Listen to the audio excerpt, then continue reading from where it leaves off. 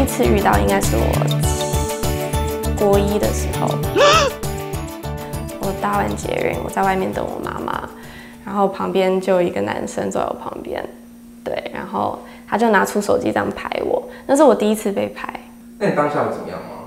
我哭了。对啊，我那时候就我就正跑走，然后我打给我妈说：“妈咪，刚才有人拍我。”她说：“你要很开心啊，这样这样代表他他觉得你很好看呐。”但是我说：“妈你不懂。”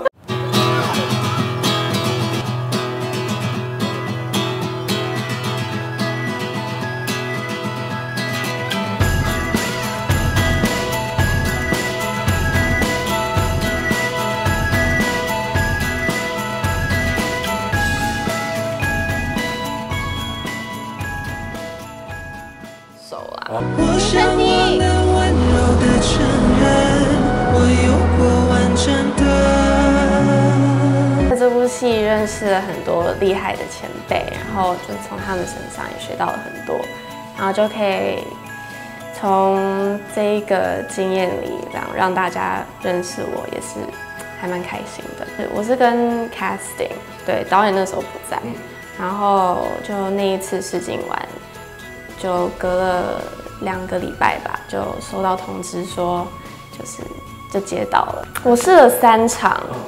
对，然后全部都是跟其他小演员，因为我是演小晨曦，所以就是对戏的演员都是小演员。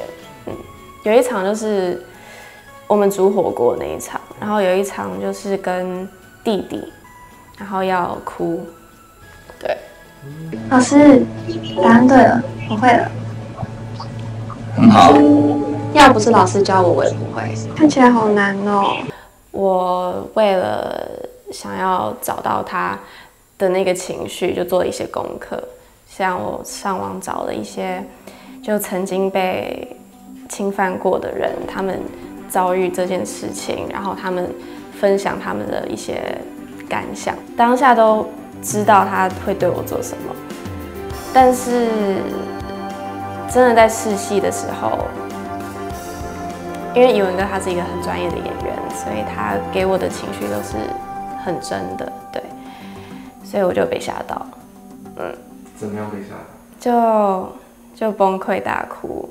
我记得那一天拍完那一场，我就回家跟我妈吃了汉堡，但是我妈她也不太敢，就是问我发生什么事，然后我也没有很想跟她分享，然后所以我就回房间写了日记，把。当天的那些状况啊，还有我的心得都写下来，就是让心情比较就舒缓一点。五岁的时候，我跟我妈走在街上，然后就有一个童装公司就找上来，就觉得就是一个小混血儿啊，可以来拍我们的童装，然后所以我就陆陆续续拍到十四岁，就是同一家，对，一年拍两次。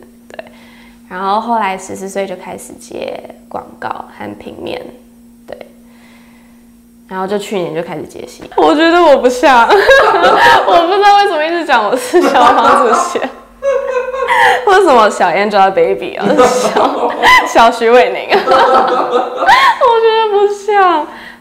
但你知道我，我觉得我比较像什么吗？哎，我比较像 Michael Jackson。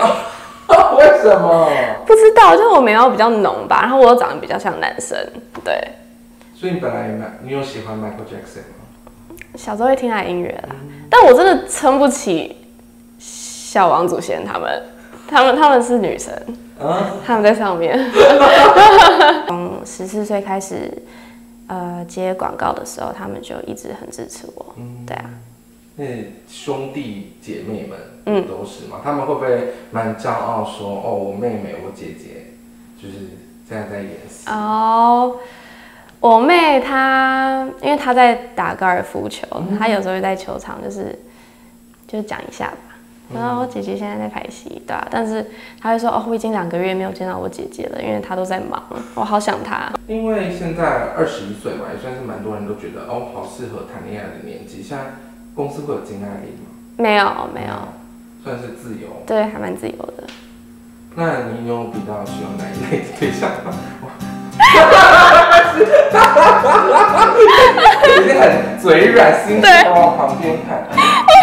我喜欢成熟稳重的，然后幽默也不错。嗯，年龄有介意吗？没有，就是越大越好。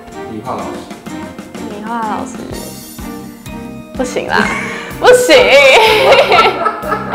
你是说理化老师还是语文哥？理化老师。啊，那不行，那不行。社群的就是粉丝数啊，都有大成长这样子。也还好啦，就 啊，有有一点点，对，就是这样多一点认识